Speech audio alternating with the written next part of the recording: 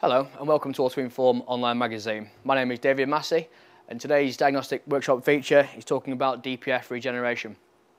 First of all, I want to introduce this car and uh, give you a little, little, bit of background to um, what the problem is and what it's doing. Um, the customer brought the car to us with a complaint of uh, poor fuel economy, bad MPG, um, reduced engine performance and intermittently uh, a rough idle speed. Of course, first thing we always do is check for fault codes. This car didn't actually bring back any fault codes whatsoever. Knowing the system pretty well and with experiences what we've had with DPF filters, the first thing I decided to look at was um, DPF engine data. EU emission law, Euro 5, what we're at currently, is getting tighter and tighter. In order to maintain these strict emission laws, the introduction of DPFs um, has been introduced and we are seeing increased amounts of problems. The amount of soot and mass of carbon buildup in the DPF filter is primarily caused by poor internal combustion. Obviously, there can be many reasons for this, but the primary reasons which we see in the workshop is down to uh, quality of fuel being bad. Um, we also see a lot of DPS blocks that has had extended lifelong service history, um, short and limited drivability. This all contributes to um, a build-up of ash and mass of soot in the DPF filter. Ways we can combat this is by uh, preventive maintenance is my favourite way, using good quality fuels, a high quality of oil, and we also have um, a new breed of engine flush treatment we use and oil additives. So the first thing we always do when we uh, diagnose these systems is look at basic sense of plausibility. In order for this DPF to regenerate itself, it needs to know certain data from sensors from the engine. The two main sensors in question in this case are the differential pressure sensor and exhaust gas temperature. We can check these very, very simply by looking at live data.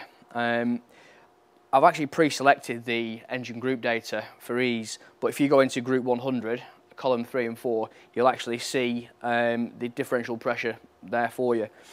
Very simple plausibility test on this system is to have a look at differential pressure with the ignition on. So engine not running, ignition on.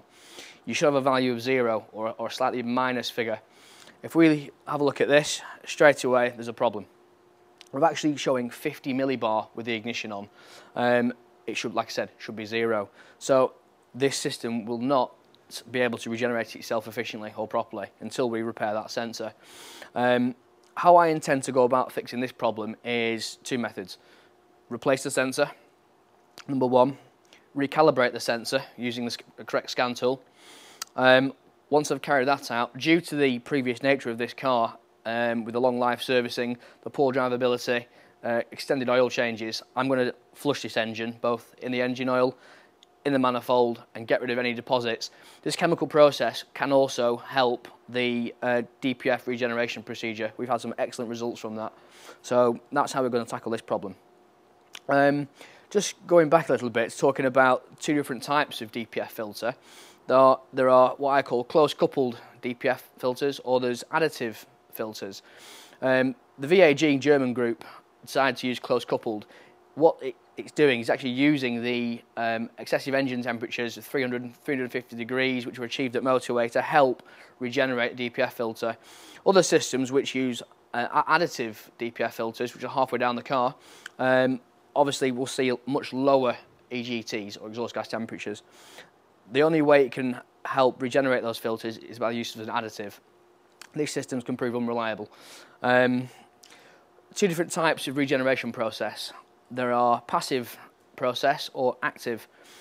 Main difference in the two is that passive regeneration will take place under normal driving circumstances. You'll never notice any change in drivability or performance of the engine.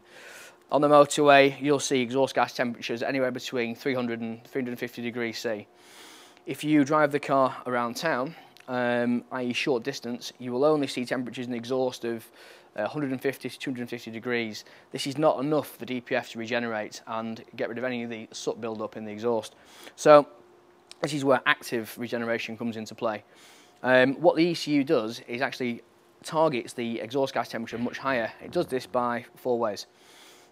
Shuts the EGR valve off, introduces um, an extra injection cycle after the main injection process has taken place, um, shuts off the um, air supply to the engine partially through an electronic flap.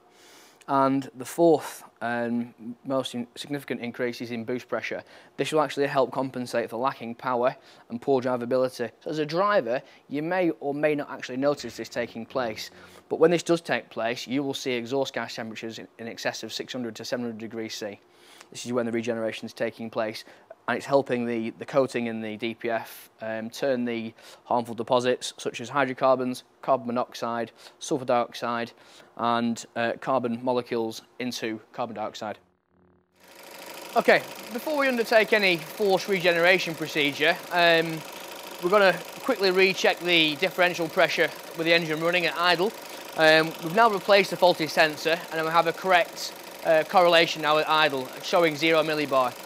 Um, so we expect to see an engine with DPF at idle of, a value no more than 30 millibar. Um, so we'll have a look at what we've got here. It's recorded the differential pressure at 60 millibar. Um, that is way too high. It's more than double what it should be at idle. So I'm confident now that the, the pressure reading is correct and we can now go forward and carry out what I call force regeneration procedure. Um, as well as doing a force regen, we're going to do the uh, flush treatment, the chemical treatment, and helping um, clear up the um, combustion problems which have caused DPF blockage. So what we're going to do now is kill the engine um, and carry out the flush process and force regeneration. Okay, welcome back. Um, what we've done is carried out the three-stage flush treatment. What you'll see appearing on your screen uh, now is before and after pictures, um, before the flush treatment was carried out. As you can see, the difference it's made in uh, removing the carbon deposits. These carbon deposits, obviously an EGR valve in, in the manifold, uh, and the valves, not to mention the DPF filter. So the cleaning process is quite an aggressive one.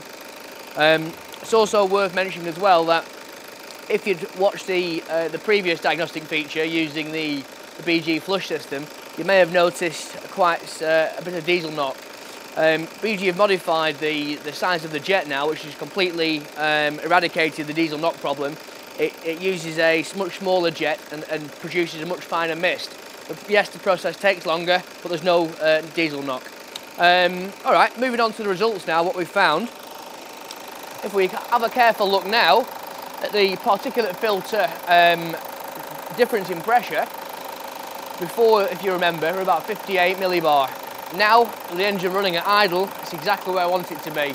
About 7 millibar, it's more than acceptable. So, the, the worked, the regeneration has worked, and obviously the, um, the new sensor we've fit is now giving the correct reading. So I'm happy now that this car is, is fixed, it's sorted. Um, I'm going to give it back to the customer with obviously fresh oil, new filter uh, and a flush treatment in the tank. Um, I may invite them back in a week of time so just to uh, evaluate the, the pressure, make sure everything's okay with the car and obviously um, closely monitor the fuel consumption. But you know, having repaired lots of these systems now in this method, I'm fairly confident this won't come back. Um, if you are interested in developing your diagnostic skills any further, then please visit our um, Auto-Inform website uh, for more details of our face-to-face -face training. Thank you very much. No.